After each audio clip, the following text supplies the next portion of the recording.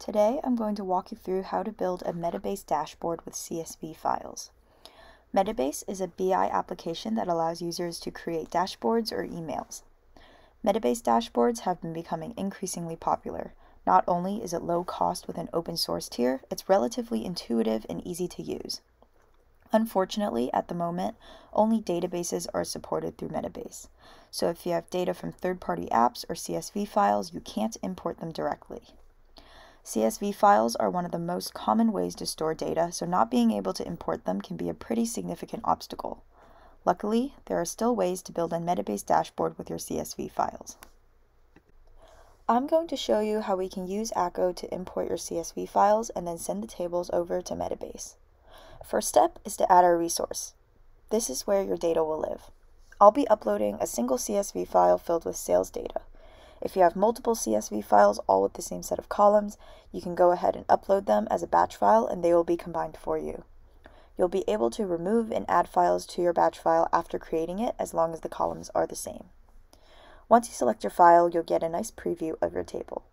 You'll have options for auto detect schema or safe mode. Auto detect will automatically detect your column names and types for you. If you have any issues with that, choose safe mode, which will deal with most errors you'll encounter.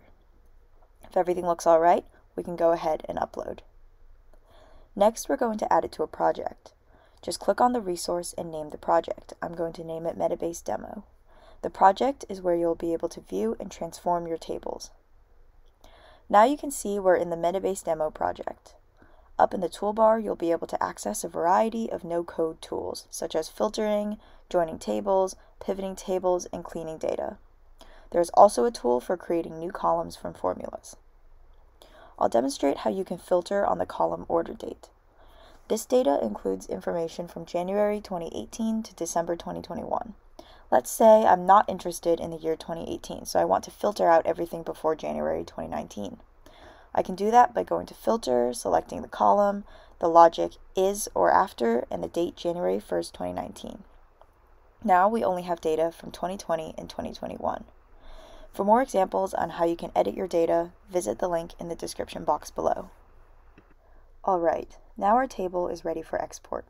The export button is the little cloud button on the right, and we select Metabase from the drop-down menu.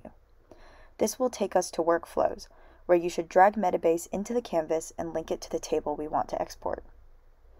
A pop-up box with credentials will show up, which you will need to set up your connection to Metabase. You only need the credentials once, and I'll also link the instructions for setting up the connection in the description box below for you to follow. So how do you set up your connection? Copy your dataset ID and download your JSON key file. Open Metabase and navigate to Settings and then Admin. Click on Add a New Database. Choose BigQuery as your database type and name your database whatever you'd like. Copy in your dataset ID and upload your key file.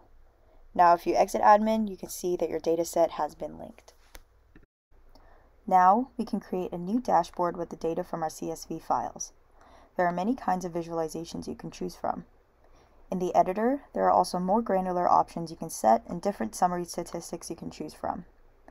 I can create a gauge to show total profits, or create a line graph to see how profits are changing over time.